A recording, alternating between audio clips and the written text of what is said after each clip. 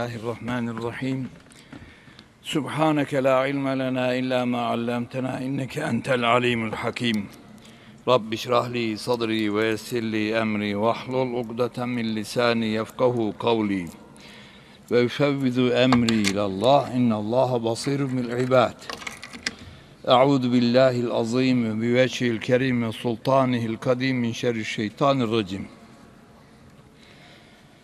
الحمد لله الذي أرسل رسوله بشيرا ونذيرا والصلاة والسلام على من أحيا الدين بعد أن كان أسيرا وعلى آله وأصحابه المقدمين على الخير ولا عسيرا. اعلموا أن أفضل الكتاب كتاب الله وأفضل الهدي هدي محمد صلى الله تعالى عليه وسلم وشر الأمور محدثاتها وكل محدث بدعة وكل بدعة ضلالة وكل ضلالة في النار وبالسند المتصل إلى النبي صلى الله تعالى عليه وسلم أنه قال أقرب ما يكون الرب من العبد في جوف الليل الآخر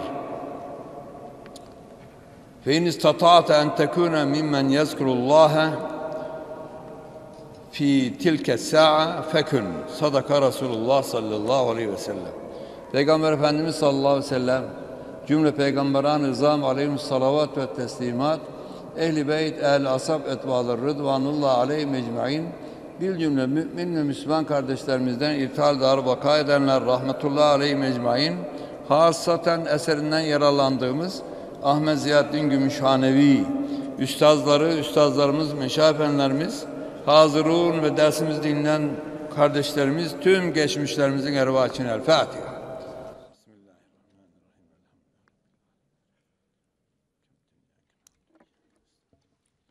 أقسم الخوف والرجاء أن يجتمعا في أحد من الدنيا فيريح ريح النار ولا يفترقا في أحد في الدنيا فيريح ريح الجنة Evet, korku ve umut yemin ettiler.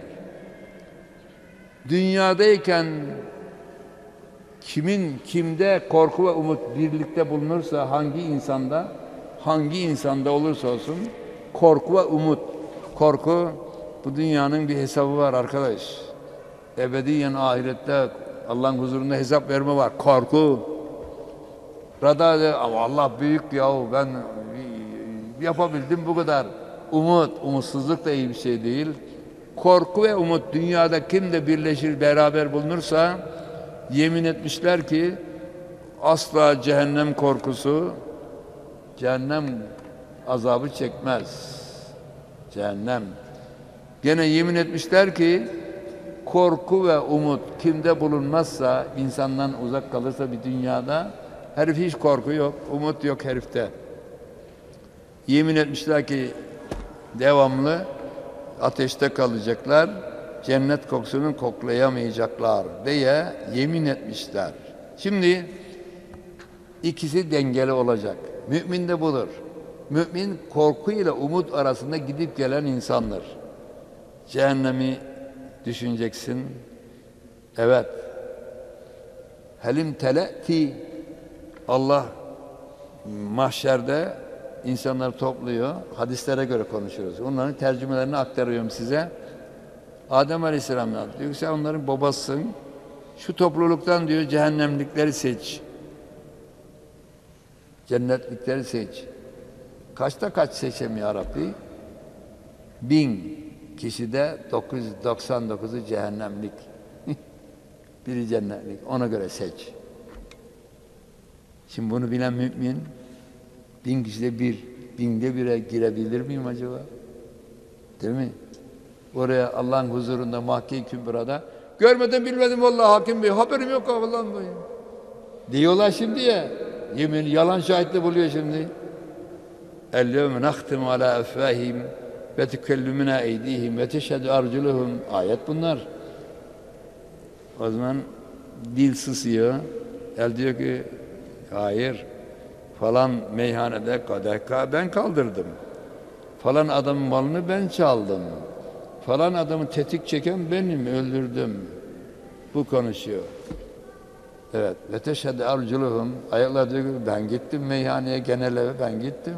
O öyle dese de evet her şey azalarımız konuşacak. Kur'an'da var bunlar. Evet. İnsanoğlu diyecek ki nankörler, nankörler. Ben rakı şarabı sizi zevkleneyim de içtim. Sizin hoşuna gitsin de içtim. Aleyhime konuşuyorsunuz. Niye konuşuyorsunuz? Evet. Kur'an ayeti bu. Antakan Allahu antaka kulle şey. Bugün herkesi konuşturan Allah bizi de konuştur. Sahibimiz kızma bize. Konuşmama şeyimiz yok. Şansımız yok. Allah konuşturuyor. Bu sahneler düşünüyorsun. Şimdiye kadar göstermedin kimseye. Mübarek adam. Halbuki bilmediğin neleri var. Nelerimiz var değil mi canım? Yani kusursuz bir Allah. Bir de peygamberler Allah himayesi. Hepimizin kusuru var. Herkes evliya zannediyor falan ama nelerimiz var gizli biliyorsun bilinmeyen. Orada meydana çıkacak. Bunlar düşünüyorsun. Vay diyorsun. Vay. Tavus kuşu gibi. İnsan tavus kuşu gibi olması lazımmış. Biz İran'a gittik. Hakikaten vay diyor ya. Ben aktarıyorum hep konuşmalarımda. Tavus kuşu vay dermiş filan diye. Biz oradayken başladı vay demeye. Gördüm yani. Vay diyor. Sen öyle ötüyor. Öyle. Neden? Tavus kuşu çok güzel. Dişisi var, erkeği var. Erkekler yarışıyorlar. Dişisine kur yapıyorlar. Parkta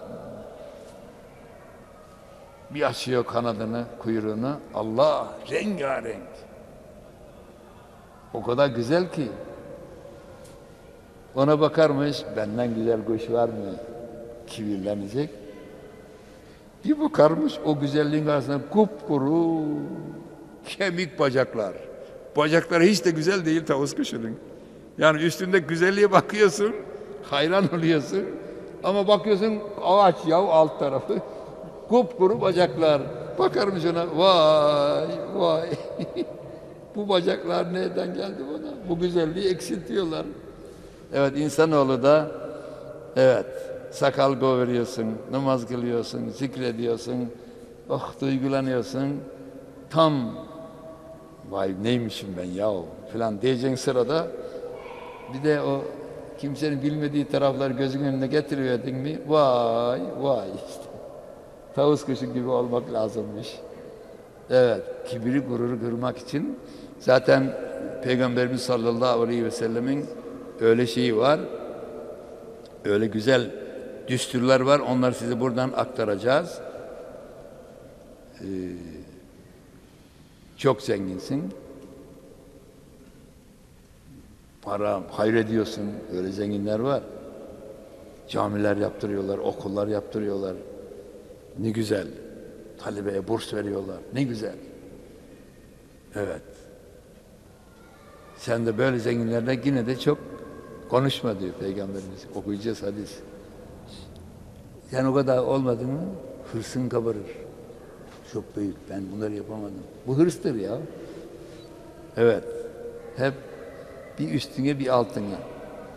Umutsuzluğa düşmemek için bak o adam diye tepene bakacak. Umuda kapılmak için. O da olmuş, o da Allah'ın kulu. Fakat şımarmamak için de altına bakacaksın. Ya o da benden çok şey. Umutsuzluğa da kapılmayacaksın yani. Korkuyla şey arasında havf ve reca. Çok umutlanırsan hayalperest olursun. İşim tamam. Öyle mezhep bile var. Mürciye derler onlara. İman ettin mi tamam kardeşim. İşte peygamber söylüyor. Men kâle la ilahe illallah dahalel cennet. Dahale yüzde yüz demek kesin. Kim la ilahe illallah Muhammed Resulullah cennete girecek diyor peygamber. Dedik ya günahlar zarar vermez. İmanla göçtün mü her şey silinir. Bunlara mürciye mezhebi denir. E, günah zarar vermeyecek de Kur'an niye şarap içmen, zina etmen, kumar oynaman, yalan söylemen niye söyledi Osman? Lüzumsuz laflar. Aşırı bir mezhep. İman tamam, hepsi temizlenir. Sen kalbin temizliğine bak. Demiyorlar mı şimdi? Esten beri var bu. Evet bir de var yok kardeşim ya. Hani demiş ya adam ne yaptın? 99 tane adam öldürdüm. Ne geldin ulan demiş. Cehennem kütüğü. Bu yüz olsun demiş. Bir tane onu Bir de bu var ya ne olsa gireceksem yani o yok bu da yok. Allah Erhamur Rahimin. Allah'tan umut kesilmez. Bunu söyleyen adam da yanlış söylüyor. Allah'tan umut kesilmez. Tabii hakim biz değiliz. Biz aktarıcıyız. Kimseyi umutsuzlandırmaya yetkimiz yok. Kimseyi de şımartmaya hakkımız yok. Haf vereceği umutla, umutla korku arasında dengeli bir şeyi anlatacağız. Müminler bazen sevinecek, umutsuzluğa düşmemek için bazen de korkutacağız. Azmasınlar diye. Madem işim tamamsa arkadaş niye yapayım bir deme verir değil mi? Ki öyle gruplar da var şimdi memleketimizde. Kardeşim biz Allah'ı bulduk. Namaz bizden silindi. Biz zikir ehliyiz. Vâbet Rabbik hatta ye'tike lakin. Allah'ın varlığından şüphemiz yok. Kesin bilgi ulaştık. Namaz mamaz bize gerekmiyor diyen var böyle gruplar var biliyoruz biz. Namaz yok, abdest yok. Yok. Burada kime bakacağız? Muhammed Mustafa'ya. Ma takaddeme min zemmike ve ma. Gelmiş geçmiş bütün günahların silindi ya Muhammed Habibim. Olmasına rağmen sabaha kadar teheccüd kılıyor Peygamberimiz. Perşembe, pazartesi, perşembe oruçlarını hiç kaçırmıyor. Ayın başında, ortasında, sonunda, ayın 13, 14, 15 hiç kaçırmıyor. İşte Muharrem ayında oruç tutuyor. 9, 10, 11. Efendim Zilhicce'nin ilk 10 günü oruç tutuyor. Böyle muazzam şeyler var. Ee, sabaha kadar çok namaz kıldığı için de daha ma enzelna aleykel Kur'ane liteşka. Habibim yeter biz sana bu Kur'an'ı kendini eziyet etti indirmedik. Gelmiş geçmiş günahların hepsini sildik biz. Namaz kılarken dizi şişiyormuş peygamberimiz.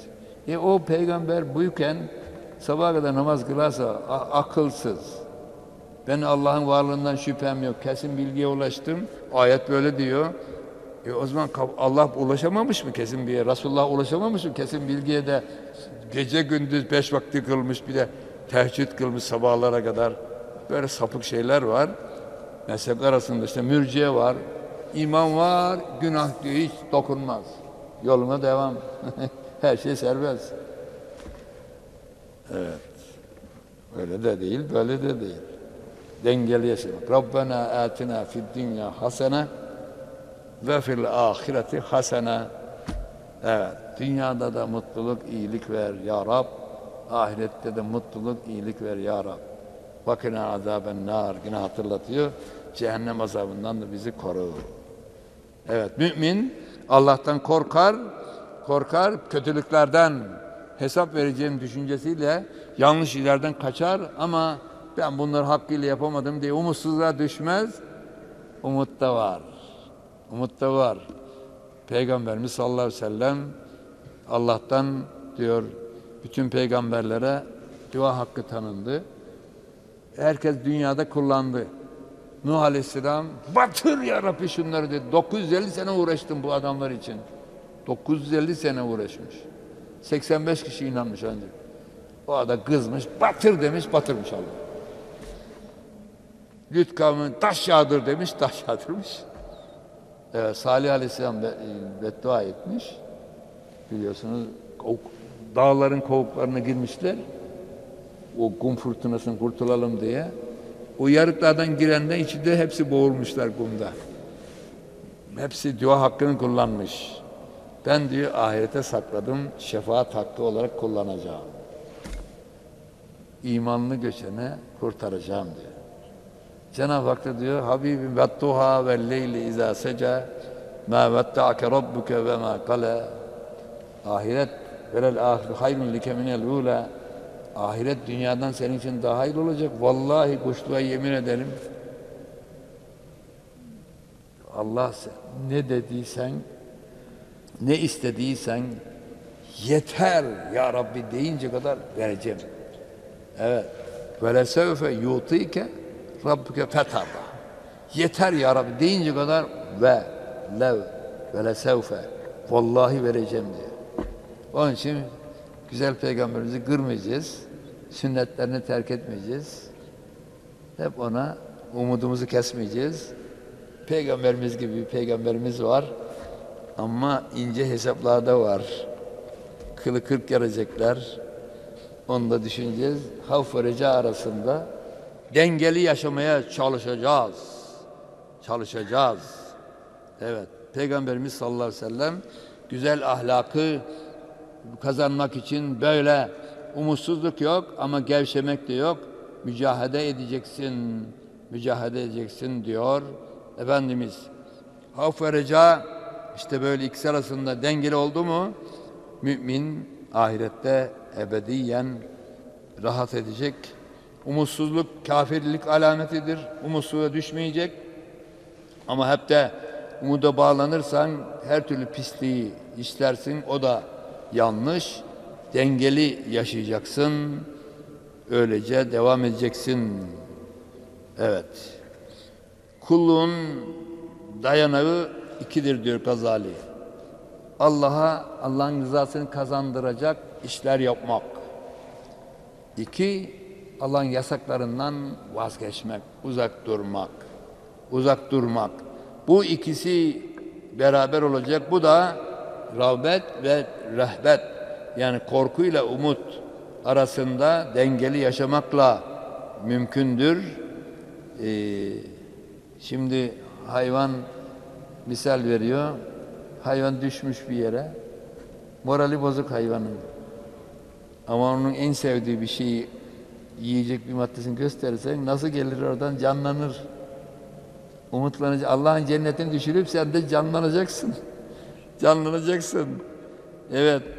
Cenneti umarak öylece kendine geleceksin, harekete geçeceksin. Benim işim bitti ya demeyeceksin.